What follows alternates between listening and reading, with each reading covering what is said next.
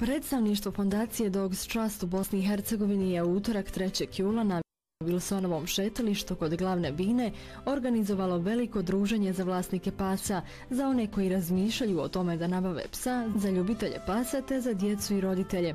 U okviru događaja Vrpcu za obilježavanje zvaničnog početka programa fostering udomljavanja proisjekli su izvršni direktor fondacije Dogs Trust Adrian Burder i članica upravnog odbora prethodna dugogodišnja izvršna direktorica Clarissa Baldwin. Drago mi je da sam danas ovdje u Sarajevu. Predivan je dan. Jako puno prekrasnih pasa. Ovaj čitav naš posao koji radimo u Sarajevu jako je važan kako bi se dobro i propisno brinuli o psima i kako bi se riješio problem da sklonimo pse sa ulice. Već smo uradili jako puno, kao što i sami znate kroz programe sa našim timom u Bosni i Hercegovini. I nadamo se da ćemo uraditi još mnogo toga.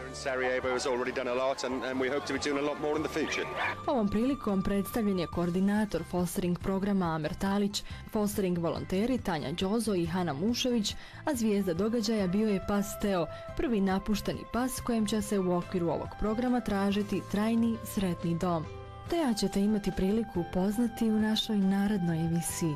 Danas smo se okupili ovdje da dočekamo zajedno ljeto i pokrenemo još jedan program u nizu koje je fondacija Dok Strast već evo šestu godinu organizira i financira u Bosni i Hercegovini. Radi se o programu fostering udomljavanja kojim će se prvi put fondacija uključiti u udomljavanje pasa u Bosni i Hercegovini po istim visokim standardima kakve inače koristimo i u Velikoj Britaniji.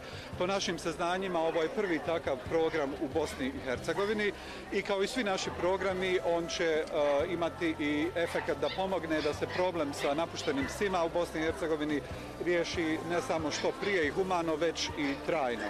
Dakle, osim ovoga programa, fondacija provodi i svoje druge programe i svi zajedno, kažem, imaju osnovni cilj, a to je da pomognemo lokalnim vlastima da implementiraju zakon o zaštiti i dobrobiti životinja, odnosno da oforme sisteme za upravljanje populacijom pasa kako bi se problem riješio što prije, humano, ali i trajno. Sam program uh, fostering udomljavanja funkcioniše na način da će se uh, kroz klinike koje rade sa nama ili po dojavama građana naši stručnjaci otići na lice mjesta, procijeniti da li je pas udomljiv i primiti ga u naš program tako što će volonteri koje, kojih već imamo, danas ćete evo upoznati i neke od njih, kao i prvoga psa koji je u ovoj šemi, oni će se privremeno brinuti od njih dok naša ekipa ne bude našla stalni dom za, za toga psa. Mislimo da se za ovih šest godina ovaj, dosta toga promijenilo nabolje. Mi djelujemo, kao što znate, i kroz program edukacije djece u osnovnim školama. Djeca pričaju sa svojim roditeljima, pričaju sa nastavnicima, na njima je budućnost i mislimo da i drugi naši programi su utjecali na to da pogotovo vlasnici pasa promijene shvatanje o tome šta znači biti odgovoran vlasnik, da to znači o, sve od onoga da se za svojim psom počisti, kada se izvede u park, pa do toga da se taj pas i steriliše i vakciniše i e, očisti od parazita i tako dalje. Tako da ne predstavlja nikakvu prijetnju za, za zajednicu. Dakle, naš je zajednički cilj da pas ponovo dobije status čovjekovog najboljeg prijatelja, što on zapravo i jeste. Događaj je također bio prilika da svi gosti pogledaju kreativne, simpatične fotografije koje su vlasnici pasa poslali predstavništvu u okviru fototakmičanja Kako moj pas i ja ličimo, pri čemu su vlasnici 20 fotografija koje su proglašene kao najbolje, kao nagrade dobili ljetni poklon paket, u okvirenu umjetničku karikaturu sebe i svog psa, kao i voucher za prvu praonicu za pse u vrijednosti od 10 konvertibilnih maraka. Najmlađi posjetioci su se zabavili na edukativno-zabavnoj radionici i sa sobom pored ljetnih poklona ponijeli i posebni set sa igrama koje su voljeli njihovi stariji članovi porodice, Dogs Trust Retro Kids Set. Svi posjetioci također su dobili ljetni poklon paket te prvo izdanje časopisa predstavništva pizza，koji će od sada izlaziti dva puta godišnje. Časopis ima korisne i zanimljive sadržaje za vlasnike i ljubitelje pasa, roditelje i djecu, te sve zainteresovane za trajno, humano i zakonsko rješavanje problema napuštenih pasa. Ovo nam je baš prvi put da smo na ovakvom jednom skupu i zaista sam oduševljena. Super je. Šta vam se najviše sviđa, evo? Pa prvo mi se sviđa što je odziv jako veliki, da ima jako puno svih rasa cuka, to mi je najvažnije. E sad bit će neki program, ne znam tačno šta će biti, bit će neki poklončića, vidim tamo neke kese, tako da evo, došli smo da se lijepo osjećamo. Što se tiče udomljavanja, mi kad smo htjeli cuku, moj suprug je bio govorio da uh, udomimo, da možda bi to i bilo bolje.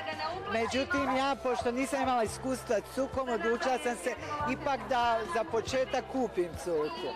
A sada možda u perspektivi, možda ja razmišljam o jednom cuku da udomim, ali to ne mogu još 100% ništa reći. Dakle, prvi uh, događaj u organizaciji Dog Strasta ove veličine, ali od kako smo postali ponosni vlasnici roka, uh, usko surađujemo sa Dog Strastom, bili smo u njihovoj školi za kućne ljubimce, zapravo za vlasnike. Naučili jeli kako se ponašati uh, sa rokom. Bili smo onda prisutni na njihovoj akciji fotografisanja i kućnih ljubimaca i evo danas smo ovdje, zaista je sjajno. Roko uživa, malo se već umorio od igre sa svojim drugarima, ali stvarno je sjajno, super je. Pa zadovoljno sam svi, ima puno cuka, drugih se druži. Ima je deset mjeseci, pohađa školu, malo je časova preskočila. Poslušna je. Najviše volim mog muža. Redovno ide s njim u šetnju, pa zato. A ja sam povremeno onako. Sve je super, svaka im čast. Od sterilizacije i sve redom, mislim, to je jedan, stvarno jedan human gest jer mnogo ne bi se moglo toga učiniti, ali oni su nam pružili priliku da svi možemo i sa školom i sa sterilizacijom. Kakav je vaš stav o udomljavanju? To je nešto najhumanije stvar. Oni se ne mogu sami hraniti. To je nešto, pa ne znam, uporedila bi sa djetetom. Jer oni stvarno su izloženi i maltretiranju. Evo kako vaša ljubimica privlači pažnju. O, da, uvijek je tako. Curice je vole na klizanje, kad je zimsko klizanje, svi je vole. Pa treba svaki čovjek udomiti jednog psa, ima sve više lutalica koje treba.